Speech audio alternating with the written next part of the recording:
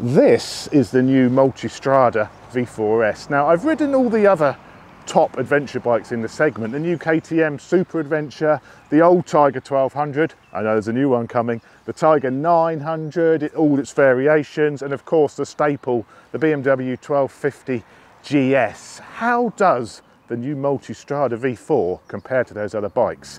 The Multistrada was always more of a sporty machine with its 17 inch front wheel the new one now has a 19 inch front wheel. How is that going to affect the handling and the sporty nature of the bike?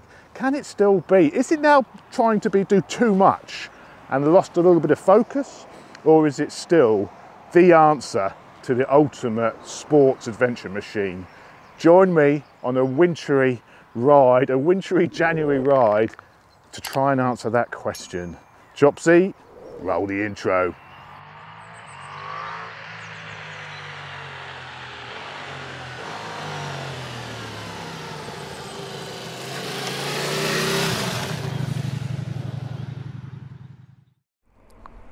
So, jumping aboard this fine steed, look at all of this motorcycle you have in front of you. Really wide bars. I think the widest bars on a bike I've ever ridden. They're, they're really, really wide. Let's fire her up. Before we go anywhere, you know what we got to do? Let's do a sound check.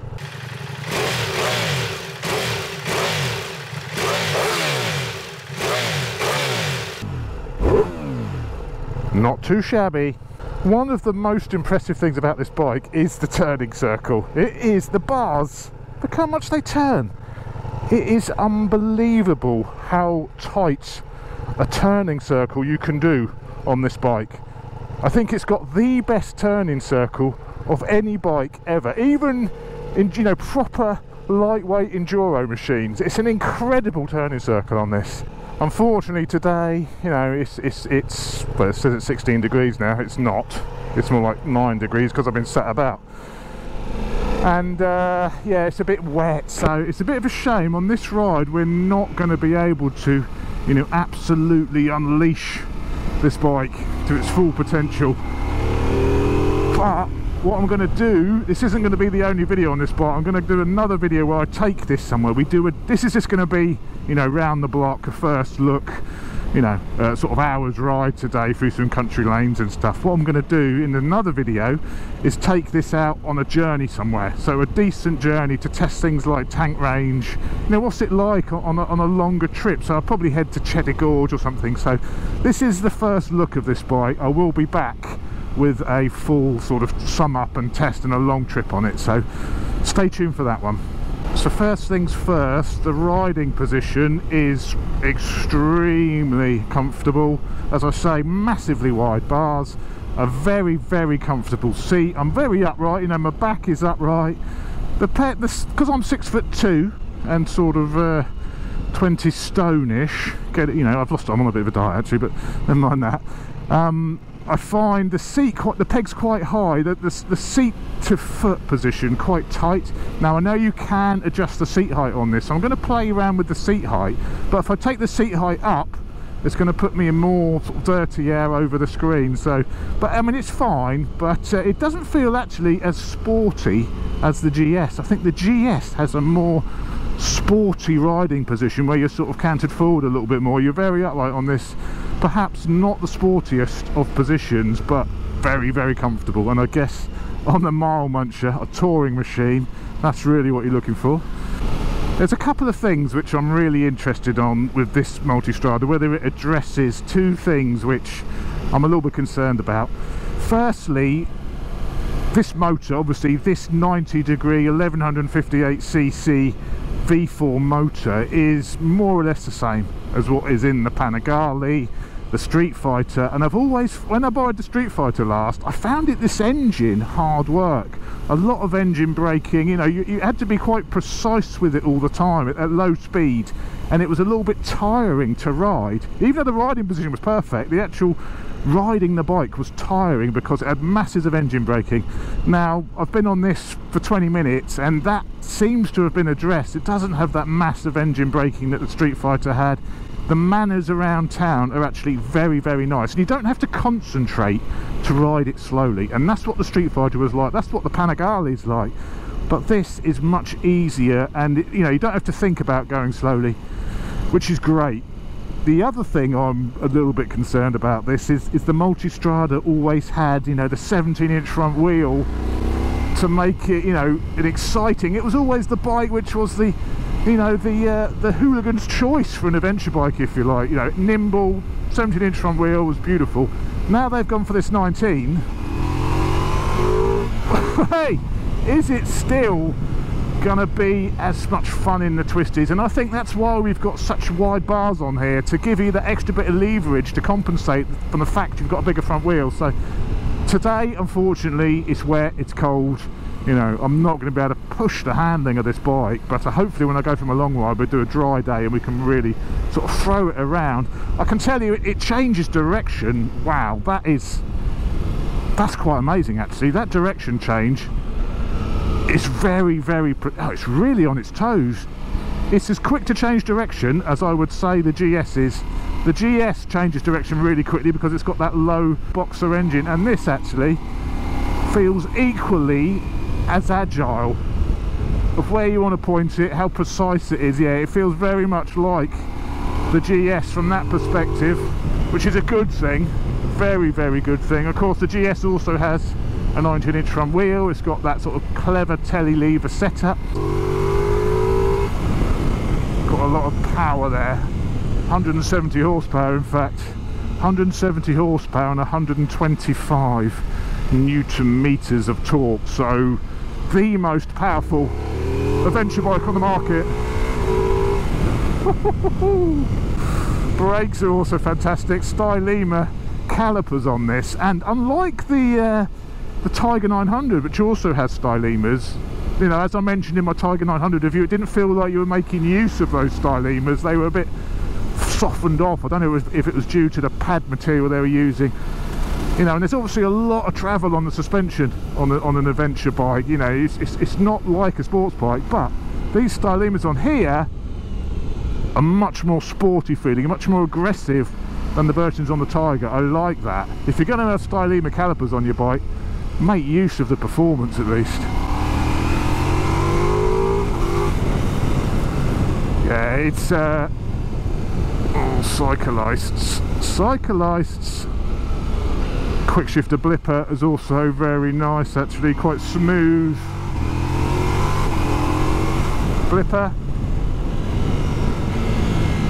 Yeah, it's nice as nice as any other system, much nicer than the BMW GS because that was always the flaw. I know this isn't a BMW GS review, but I want to compare this to the other adventure bikes I've ridden, you know, so I think when you're borrowing something like this, what is valuable is to compare it to its peers. And the GS is a fantastic bike. I mean, there's a reason why that's the best-selling bike for the last 10 years, you know, but I think its weak point is its gearbox. And the gearbox on this is much smoother. The quick shifter's got a much nicer action I have found it's not perfect because I found it difficult to to find neutral. I found it a little bit tricky to find neutral on this bike when you you know when you're parked up. But apart from that it's buttery. Steamer so here she is the Multistrada V4S let's have a closer look at her. So starting at the front we have of course the 19 inch front wheel Stylema calipers. This version, which has everything on it, the full packs, even has a carbon fibre front mudguard.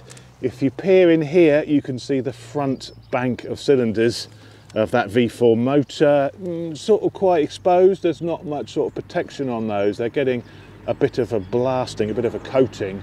Above the engine, you have the oil cooler, which remains reasonably clean. And to the left and right, you have the water radiators. So uh, they've got all those tucked out the way, but the front part of the engine is a little bit exposed to the weather.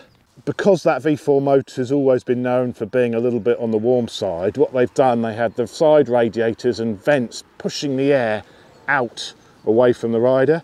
And then you've got these lower vents here, scoops if you like, guiding cool air at the rider. So it sort of get heat away, bring cool air in And today it's been like nine degrees. I've not noticed any heat coming off that motor, but I know this is a hot motor. On the Panigale, it's hot. On the Streetfighter, it's hot. You know, it generates some heat, which is quite welcome in the winter. But a summer's day in 30 degrees, it'll be interesting to see how this setup works. The new front beak of the bike, it's just started raining, absolutely lovely. This is the radar module, so this is what gives you that sort of radar functionality but it gives it a little bit of a flat piece on the front. But as far as front ends go for adventure bikes, this is probably the sexiest looking adventure bike.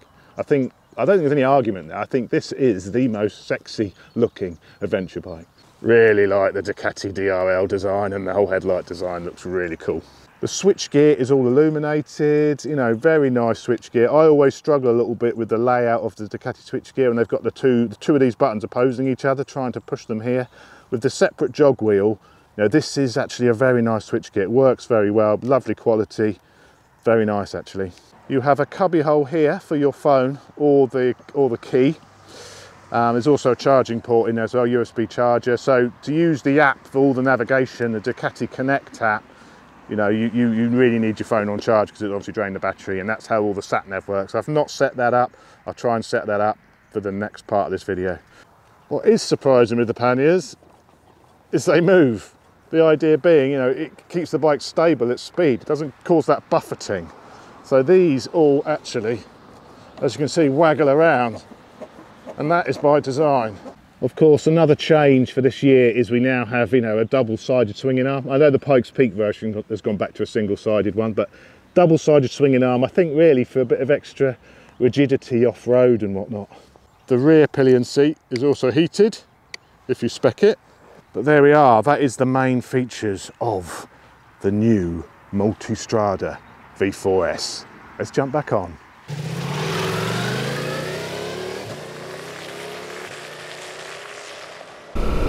Wow, looks like my pin lock's seen better days. My pin lock's playing up now. I didn't get my transitions visor for Christmas, by the way, everybody. Santa, Santa couldn't find one in the UK when he wanted to buy one so I didn't get a transitions visor what I did get was a new Hero 10 camera so you may notice that the picture quality from a helmet camera is now 4k 60 so I've upgraded from me Hero 4 to a new Hero 10 so if you're wondering why it looks all a little bit different on this video that'll be why. Heated seat high yes please. Heated grips.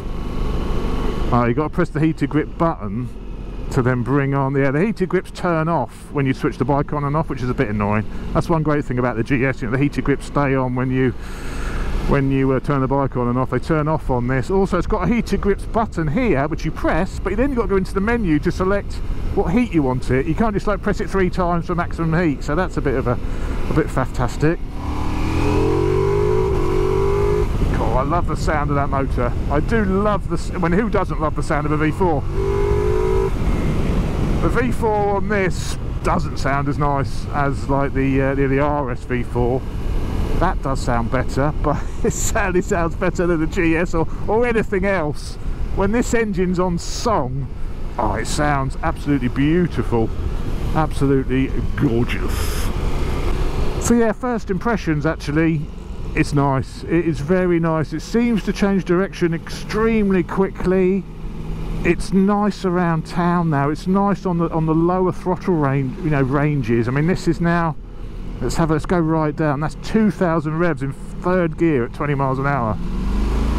You know you've got plenty of power there. It's actually hardly any vibrations you know. It's very very smooth this motor. And this engine is actually 1.2 kilos lighter than the old 1260 V-twin so this engine is lighter it's more compact. It's enabled them to change the chassis you know with the new monocoque suspension new new swinging arm new sub subframe. It's managed to sort of compact the bike and change the whole geometry